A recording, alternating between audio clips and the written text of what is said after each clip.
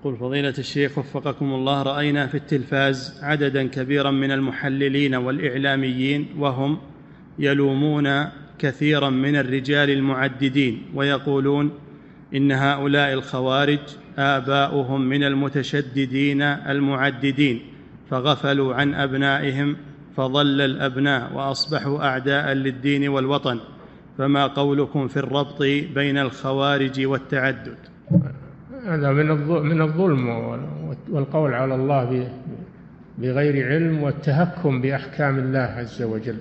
هذا لا يجوز الكلام هذا وأنا قلت لكم أن وسائل الإعلام تمشي على في الغالب أنها تمشي على مخططات الكفار وتأخذ بأفكار الكفار وتريد أن ترضي الكفار وأن تلوم الإسلام والمسلمين.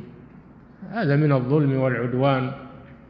ومن من اتهام من اتهام الله جل وعلا في أحكامه وتشريعه. لا يجوز الكلام هذا. وقد يكون هذا ردة عن دين الإسلام لمن تكلم بهذا الكلام.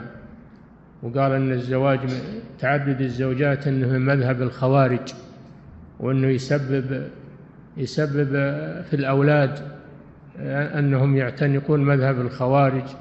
هذا كلام باطل. وإذا تعمده الواحد يكون مرتدا عن دين الله. ذلك بأنهم كرهوا ما أنزل الله فأحبط أعمالهم والعياذ بالله. نعم.